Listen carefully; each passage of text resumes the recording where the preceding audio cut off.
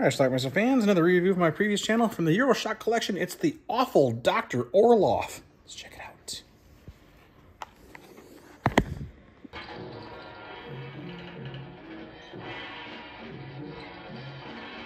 This is a closet. Not what you usually expect to find there.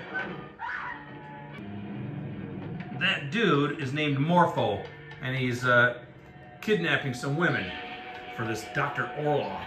Is the file, case number 3253. It's an epidemic. That's the case of the four women who disappeared, isn't it? No, named it by your skin. What about my skin?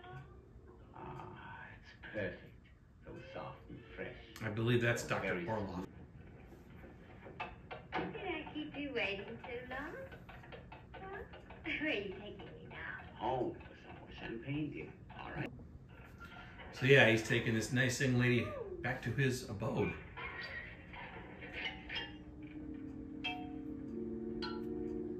He's fascinated at first, but then she becomes locked in.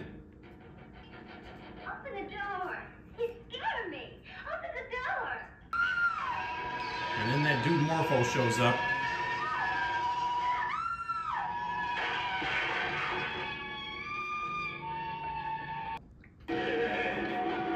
She gets caught.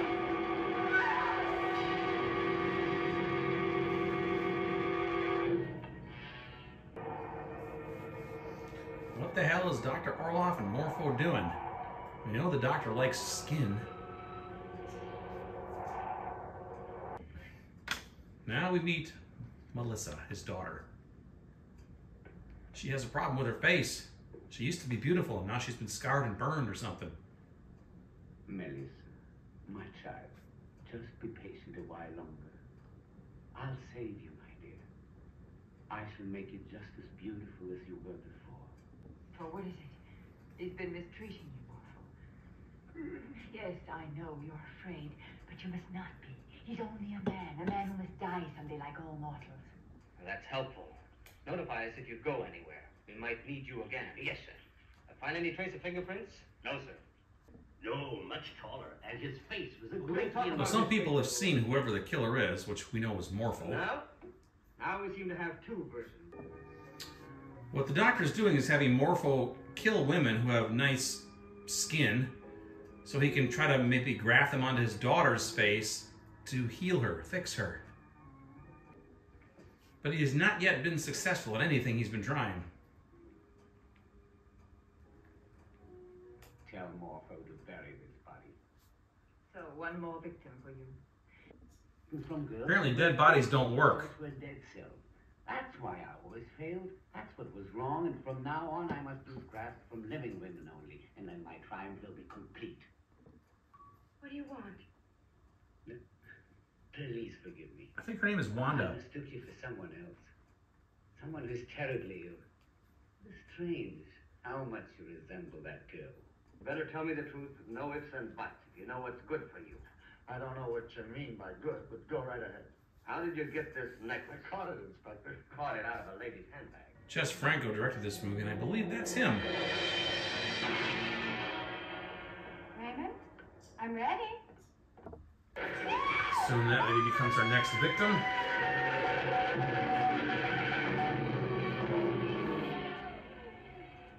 Come, Morpho.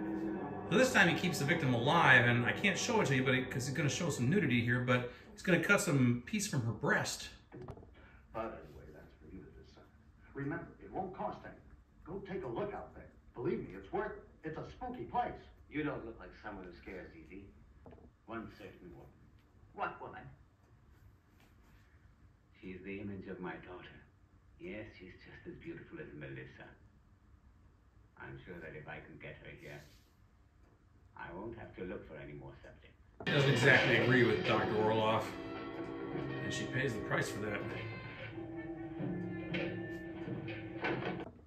These were found at the boathouse, and they were made recently. Fingerprints. We found out who they belonged to. And Morpho Lautner, sentenced to be hanged for the murder of his father and for several other violent crimes on the 12th of May, 1905.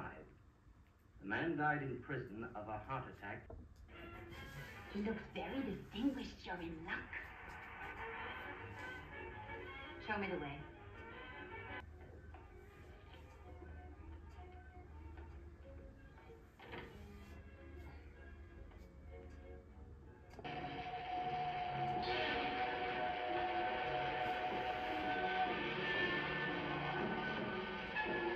In grade 23, section number 8.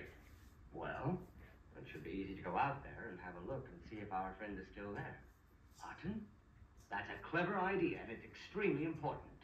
I believe that's Morpho's grave. He was supposed to be dead, which we know he isn't. And of course, there's nobody in it. Nearing the end of our film now. What have they done to you?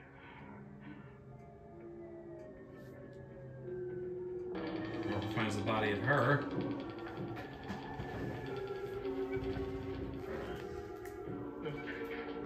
He attacks Dr. Orloff. What have you done, Morpho? and kills him. The authorities arrive.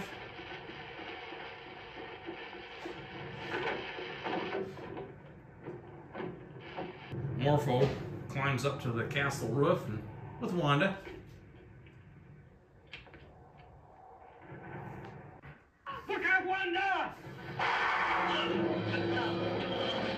A shot to take, but it works. That's our film. All right, let's talk about the Doctor. I'm sorry, the awful Doctor Orloff. I thought it was called uh, Gritos en la Roche. Noche. Yeah, directed by Jess Franco, 1962. Uh, I read on IMDb they sometimes consider this the first Spanish horror film. Um, and Jess Franco, true to form, threw a couple nude scenes in there, even though it was 1962. So good for him. What we got here is a pretty creepy tale, actually, and it's uh, very stylish and uh, well made, I think. Uh, one of his better films. You know, he did a lot of exploitation stuff in the late 60s, 70s, 80s, uh, the rest of his life, basically. Um, um, but this one is actually pretty quality film, if you ask me. Um, black and white movie. Uh, we have this guy named Dr. Orloff who used to be a prison doctor, and uh, his daughter, Melissa, is alive, but I don't know, something happened to her face. It's scarred, burnt, whatever, like half of her face is. It's all messed up. I don't, if, if there was, if they explained how it happened, I missed it, but anyway, he wants to fix her up.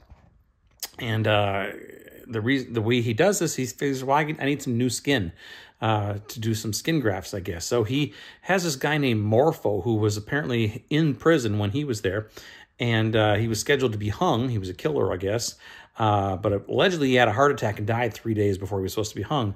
But he didn't die. Uh, in fact, he uh, was basically let out by Dr. Orloff, and um, nobody knows that. So Orloff is basically controlling Morpho. He has Morpho go out and kill women, nice young women who have good skin, and he keeps trying to like uh, fix, use the skin. He tear, after they, they kill the bodies, he takes the skin, tries to fix his daughter. Nothing it takes, nothing works. Eventually, he figures out, well, maybe I need live skin from a live body to do this. So, gets this other woman, um, cuts skin from around her breasts, and uh, uses that. That doesn't work either. Eventually, uh, the police find some fingerprints and they track it down to that of Morpho. They're like, this guy died seven years ago. What's going on there? They dig up his grave. They find he's not there. They eventually piece it all together that Orloff and Morpho are working together. They don't know why all these people are being killed and, and everything, but um, they, they, they're right. They figured it out. Uh, meanwhile, there's this woman who lives with Dr. Or, or, or, Orloff. Uh, can't remember what her name was, uh, but uh, she got killed by Dr. Orloff. It was kind of an accident. She just kind of, she knew what Orloff was doing, didn't really approve of it. Uh, they got into a little scuffle and she like, her neck broke or something. I don't know. He hid the body, but Morpho was very close to her. And later on in the film, near the end, when Morpho discovers her body, he freaks out, goes after Dr. Orloff and kills him. Uh, then he takes his girl, I think her name was Wanda, who was supposed to be like the last subject, climbs up onto the top of the castle with her. The police show up, they shoot him. He drops her, and then he falls off the building and he dies, and that's the end of our film. The awful Dr. Orloff. Now, they made a couple of other Orloff movies, uh, which were, I don't know if they were official sequels or pseudo sequels. I have no idea if Franco directed them or not, but there was two or three after this one.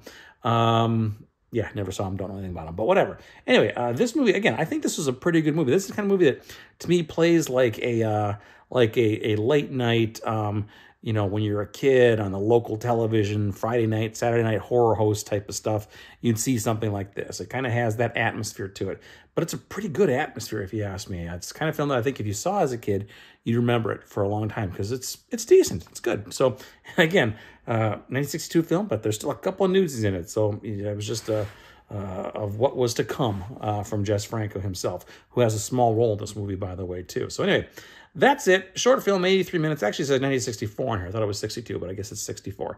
I have this on this DVD from this Euroshock collection here, which Image put out many, many years ago. Um, it's pristine condition, actually, but uh, I have a feeling there's a Blu-ray out there of, of this thing now, and maybe there's some sequels on the same copy. I don't know. But anyway, good movie. You should definitely check it out. Let me know what you think about it. Leave some comments. It's The Awful Dr. Orloff. Watch it. Bye.